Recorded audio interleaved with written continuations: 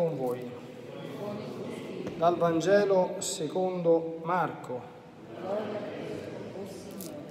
In quel tempo Gesù partì con i suoi discepoli verso i villaggi intorno a Cesarea di Filippo e per la strada interrogava i suoi discepoli dicendo, la gente chi dice che io sia?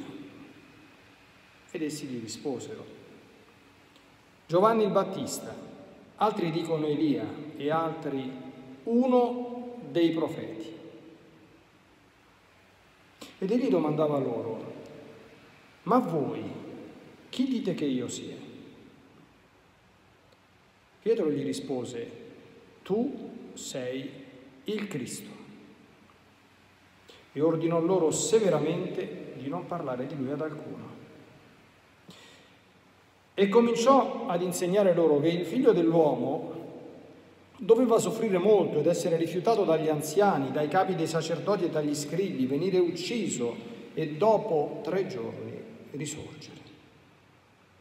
Gesù faceva questo discorso apertamente. Pietro lo prese in disparte e si mise a rimproverarlo, ma egli, voltatosi guardando i suoi discepoli, rimproverò Pietro e gli disse, lungi da me, Satana, perché tu non pensi secondo Dio, ma secondo gli uomini. Convocata la folla insieme ai suoi discepoli, disse loro, se qualcuno vuol venire dietro a me, rinneghi se stesso, prenda la sua croce e mi segua perché chi vuol salvare la propria vita la perderà, ma chi perderà la propria vita per causa mia e del Vangelo, la salverà.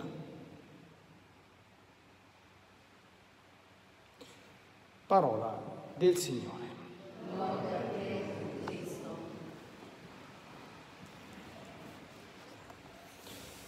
Siano lodati Gesù e Maria. Per molte persone, fratelli e sorelle carissimi, l'esistenza e la bontà di Dio sarebbero incontrovertibilmente dimostrate, ci crediamo tutti, qualora cessasse lo scandalo della sofferenza del mondo, soprattutto il dolore innocente. Se non ci fosse la sofferenza, tutti penserebbero ah, Dio è veramente buono e grande perché ci ha liberato da ogni sofferenza, quindi esiste. E siccome invece c'è, molti pensano a causa di questo, ah, o Dio non c'è, oppure non si capisce bene perché deve lasciarci a soffrire. A molti di voi sarà capitato di sentire dire da qualcuno, ah, se Dio esistesse o se fosse buono, non permetterebbe mai che i suoi figli abbiano a soffrire o no? Successo mai? Avete mai sentito cose di questo genere? Non ci avete mai pensato? Queste voci non sono mancate nemmeno nel mondo della cultura con la C maiuscola, della filosofia, che hanno dato eco, elegante e anche forbita a tale obiezione, una sorta di gancio, no? di supporto per una decisa presa di posizione a favore dell'ateismo, solo per fare un nome eccellente per chi ha un po' di cultura, filosofo tedesco che ha fatto un sacco di guai, che si chiama Friedrich Nietzsche, per chi lo conosce. Ora, le cose stanno proprio così? La liturgia che abbiamo ascoltato in questa ventiquattresima domenica del tempo ordinario ci dice che le cose non stanno affatto così, anzi, tutt'altro. Basta solo essere attenti come le letture di oggi ci aiutano a fare, a posizionare correttamente il problema dell'esistenza del male e della sofferenza e vedere come Dio in Gesù ha ampiamente risposto con le parole e soprattutto con le opere. E ciò ci aiuterà a trovare corretta e adeguata risposta a questo dilemma che affligge il cuore dell'uomo. Perché il dolore? Da dove viene il male del mondo? Prima lettura che oggi abbiamo ascoltato, il profeta Isaia mette in bocca a questa misteriosa figura del servo del Signore Queste parole quanto mai eloquenti, le cito che il foglietto le può, le può vedere, le leggo.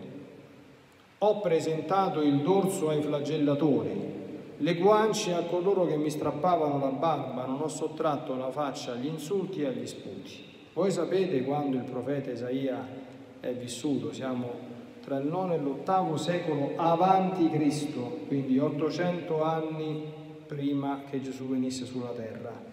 Domanda, a chi vi fa pensare ho presentato il dorso ai flagellatori? La, le guance a quelli che mi strappavano la barba, la faccia agli insulti e agli sputi. Sorprendente, no? Chi abbia un minimo di conoscenza dei Vangeli sicuramente voi l'avete e delle vicende terrene legate alla passione, alla morte di Gesù, non farà alcuna difficoltà a capire come questi dettagli, perché sono dettagli profetizzati secoli prima, si siano ampiamente, sorprendentemente e puntualmente realizzati durante la dolorosa passione di nostro Signore. Un innocente con la I maiuscola, che nessuno poteva dichiarare colpevole di alcun peccato, prende su di sé una mole spaventosa di violenza, di dolore di disprezzo, dice il testo della prima lettura, senza restare confuso senza scandalizzarsi di tutto questo dolore, anzi abbracciandolo. Questa è la risposta, diciamo così, di fatto che Gesù ha dato al dolore. Questo medesimo Gesù lo troviamo nella pagina evangelica, che chiaramente ha bisogno di essere articolata, grazie a Dio ci sono tre omelie, perché si vogliono 4-5 omelie per approfondire bene la pagina evangelica di oggi. Adesso ne vedremo qualche aspetto, no? Allora, anzitutto viene riconosciuto e acclamato dall'Apostolo Pietro come il Messia, il Cristo. Saprete no, che nell'immaginario collettivo, anche oggi, i guru, i messia, il messia è uno che viene a risolvere i problemi, è uno che ha in mano la soluzione, la chiave, se preferite oggi con un parlare comune si dice la quadra, quindi quello che mi consente di svoltare, di trovare appunto la soluzione. Gesù quindi viene riconosciuto in questo senso come il Cristo. Oh.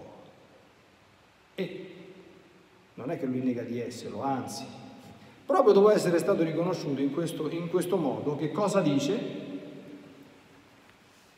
Comincia ad insegnare apertamente che il figlio dell'uomo deve soffrire molto, essere rifiutato dagli anziani, dai capi dei sacerdoti, dagli scribi e venire ucciso. Il Messia. Ma come tu sei venuto a portarci la soluzione dei problemi del mondo e viene a parlarci di sofferenze, di croci, di morti. Poi rincara, questo tocca a me, ma questo dovete viverlo anche voi, chi vuole venire dietro a me rinneghi se stesso. E Pietro che fa? Però facciamoci una domanda, voi che avreste fatto? Io che avrei fatto sentendo queste parole? Ma sarà vero che è il Messia? Sì, forse sarà pure il Messia, però, Signore mio, per carità, questo non ti accadrà mai. Ed ecco che Pietro, dopo essere diventato il primo Papa, perché nel Vangelo parallelo di Matteo, dopo queste parole, Gesù gli dice, tu sei Pietro, immediatamente dopo diventa il collaboratore, l'alleato inconsapevole di Satana per aver esortato Gesù a non prospettare questi orribili scenari. Mm, quindi, e Gesù cosa dice?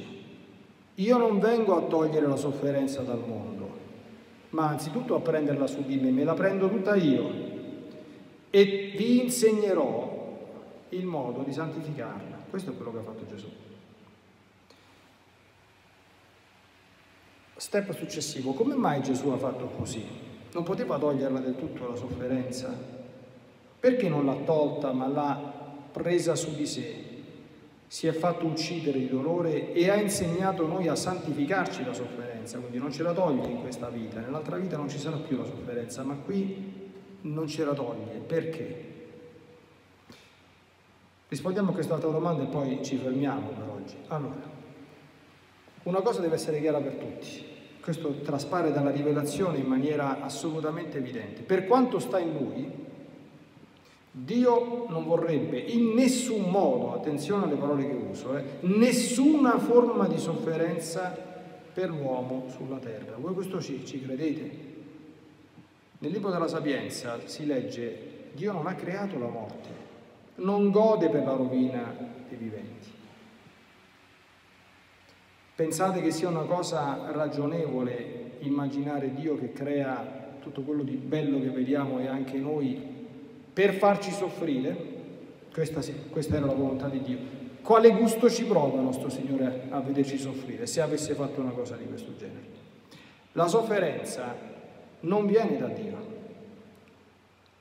L'uomo non è stato da lui creato per soffrire, ma audite, audite, per godere. Eh? Quando sarà finita la vita terrena dove siamo ancora nella prova, sapete che succede in paradiso? Si gode la visione beatifica, sarà un godimento ininterrotto, sempre nuovo, eterno e senza fine. Nessuno di noi lo può immaginare, perché se solo lo immaginaste, fareste come faccio io, se mi perdonate.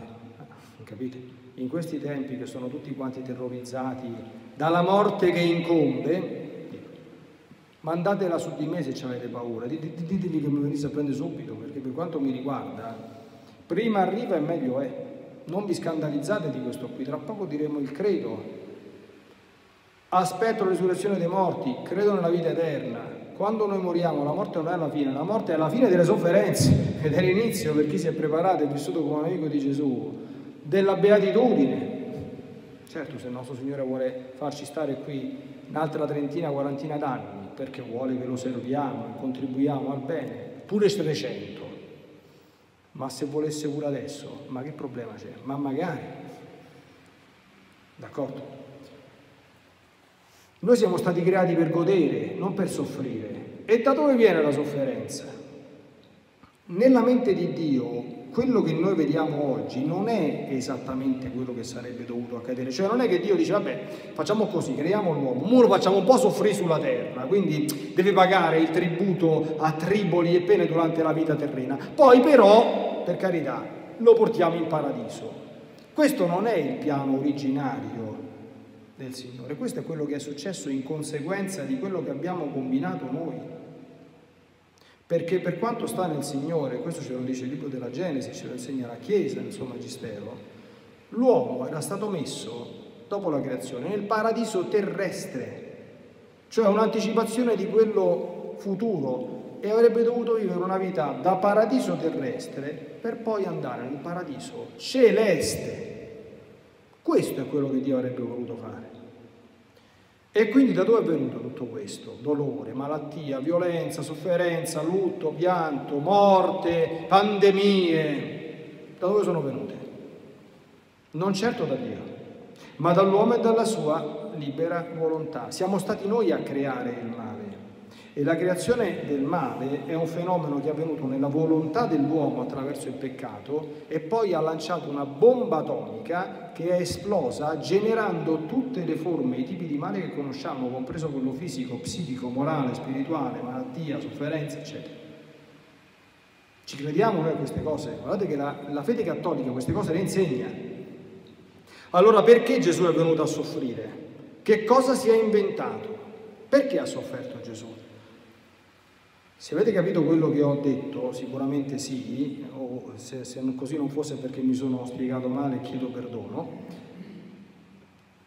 Il male fisico, la sofferenza e la morte sono un male effetto, ma la male causa, il, il male causa è il peccato. Allora cosa ha fatto Gesù nell'opera della redenzione? Per distruggere il male causa, cioè il peccato, ha preso su di sé tutti i mali effetti, ha conosciuto il dolore in tutte le sue forme, fisico, psichico, morale e spirituale, per ridare all'uomo, primo, l'amicizia perduta con Dio, secondo, la possibilità di accedere almeno al paradiso celeste e terzo, la possibilità di santificare sulle sue orme, quindi accettandoli con pazienza e con amore, i mali della vita presente che noi stessi purtroppo abbiamo posto in essere, abbiamo generato. Non solo, nel Padre nostro, e concludo con questo, il Signore ci ha insegnato ad invocare quel regno in cui la divina volontà sia fatta, attenzione, qui in terra così come si fa in cielo, Provate a pensare bene a questa espressione che diciamo tutti i giorni, speriamo nel Padre nostro, no? Sia fatta la tua volontà, cominciare così in te. Provate a immaginare come sarebbe il mondo se tutti facessero la volontà di Dio non soltanto alla, alla maccheronica, alla carlona, ma con una perfezione così grande da eguagliare a quello che fanno i santi e gli angeli in paradiso. Ma vogliamo ricostruire il paradiso terrestre sulla terra? Cosa facciamo così proprio tranquilli che lo ricostruiamo da, dall'inizio alla fine? Non è follia immaginare che se questo accadesse, A, se il peccato fosse completamente sbandito dal cuore dell'uomo, veramente la terra tornerebbe ad essere un giardino, perché verrebbe a mancare la causa produttrice del male ed il luogo dell'anticamera dell'inferno e del purgatorio potrebbe tornare ad essere un'autentica anticamera del paradiso. Quindi chi dinanzi alla presa di coscienza di tutto ciò continuasse ad accusare, ahimè, Dio della presenza del male nel mondo, o peggio ancora di essere in qualche modo responsabile della dannazione di qualcuno, cadrebbe in una bestemmia imperdonabile, misconoscendo un amore così grande che il Signore ha avuto da compromettersi fino a questo punto con tutti i mali e i guai esistenti nel pianeta Terra prendendoli su di sé, mali che sono, come abbiamo visto, imputabili e causanti solo dal libero arbitrio umano, per restituirci ogni gioia, ogni bene e la possibilità di santificare la vita presente e di tornare felici a godere la gioia per la, per la quale siamo stati creati, nella vita beata che attende gli amici e i discepoli di Gesù. Siano lodati Gesù e Maria.